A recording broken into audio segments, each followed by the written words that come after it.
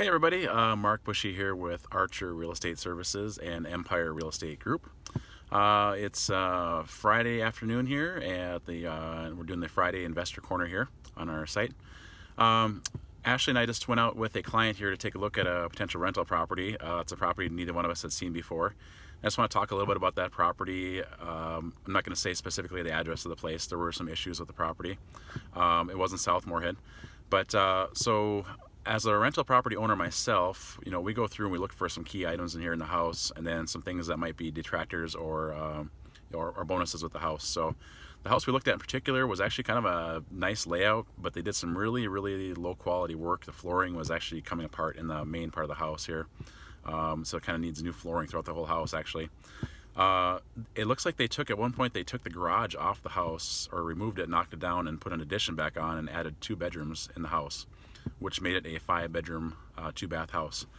The only issue with this, and the house is in South Moorhead, the only issue with that being five bedroom is that if you're going to rent this to say college kids, you know, or a group of people, um, you can't have more than four unrelated people in the house. So actually five bedrooms is kind of a not really good thing. So if they're related, you can have a family there, or you can have, you know, if you have college kids that are, you know, brother and sister, whatever that kind of thing, um, they can you know, then you can have more people in the house. But if it's five separate kids, they don't allow that in the Moorhead uh, rental program. So, um, not sure that was the best improvement for the house as a rental property. So, um, a couple other issues we saw in this house was the foundation was uh, had some issues. There was uh, it was finished basement, but it was it looked like a lot of the finished work downstairs was hiding issues with the basement. So you could see that the uh, windows were tilted in where the basement walls were pushing in, and some of the uh, sheetrock and stuff was pushing in and pushing apart so because of the shifting foundation and I'm not actually sure which was the fifth bedroom there was a fifth bedroom upstairs possibly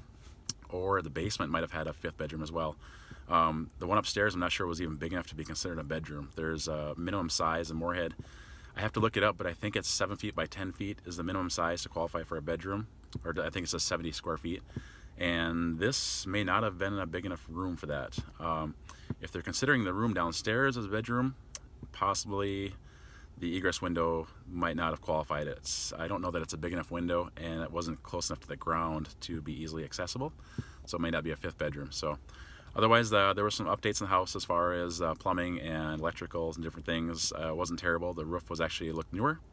Um, and it is close to Concordia and MSU, so it would be a good location for a college rental.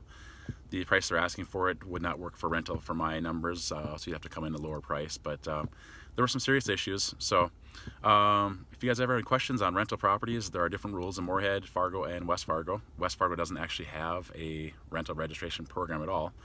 Um, but uh, Fargo is not as strict as Moorhead. Moorhead is by far the strictest of the three cities there. So they do regular inspections once a year, and they check for a variety of code violations, um, and they're pretty strict on that. So if you have any questions at all, uh, be sure to give me a call or give Ashley a call.